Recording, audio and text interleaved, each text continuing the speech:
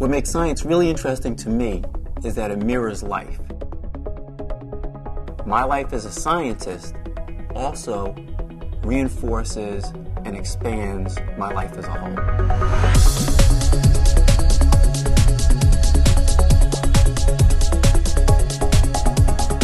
I usually spend a couple hours a day working on research studies of my own. I spend a few hours a day seeing patients that are in studies that I have. And then I spend several hours a day working on the administrative research aspects of the university. The neighborhood that I work in now, then in Watts area of Los Angeles, reminds me very much of my neighborhood in Jamaica, Queens. And one of the things that really gets me excited about research and has drawn me into research is the satisfaction of knowing that I've made somebody's life better. Every day when I get up, I go to work thinking about how I'm going to approach this problem and how I'm going to do something new.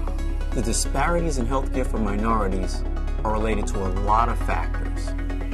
Some are because minorities are less likely to have insurance. There also may be differences in people's beliefs about health and differences in the way people live their lives. At the end of the day, I'm able to make a difference in the lives of people in my community and hopefully people around the world.